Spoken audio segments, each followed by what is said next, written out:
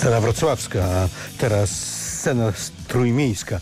Jarosław Janiszewski już nie tak mocno, nie tak ostro, wręcz przeciwnie, to będzie po prostu jingle bells. Opowiadaj. Ale tak, oczywiście, że tak, dlatego, e, że skoro zbliżają się święta, e, okres miły, sympatyczny, odprężający, taki najbardziej, myślę, zapadający w głowę. Ja e, zawsze ten okres kojarzyłem sobie z takim ciepłem, z takim odprężeniem, z rodziną.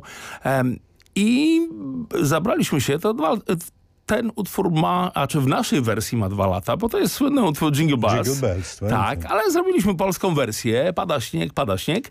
E, można do tego obejrzeć bardzo wesoły obrazek, zrealizowany zresztą nawet na plaży w Trójmieście, gdzie chłopcy biegają przebrani za świętych Mikołajów i wyglądają naprawdę bardzo interesująco. E, I cóż, ja trzymam kciuki, żeby te święta były miłe, odprężające, e, żebyście państwo znaleźli na przykład na ulicy dużo pieniędzy, płetwy, lutownice. A my pozdrawiamy, ubranie. a my pozdrawiamy zaprzyjaźnione Radio Gdańsk. Wiem, że masz tam swoją audycję, a tak. masz swoich słuchaczy.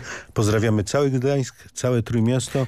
Życzymy wesołych świąt. Co jest jeszcze ciekawe, to warto tutaj zauważyć, że bardzo, bardzo często kiedy ktoś zabiera się za robienie mm, takich utworów świątecznych, to te utwory są takie płaczliwe, smutne, smętne, a święta mają być radosne, mają być optymistyczne, mają wnieść sporo energii. I taki jest ten utwór w wersji zespołu Czarno-Czarny, Jiggle Bells, czyli Pada śnieg.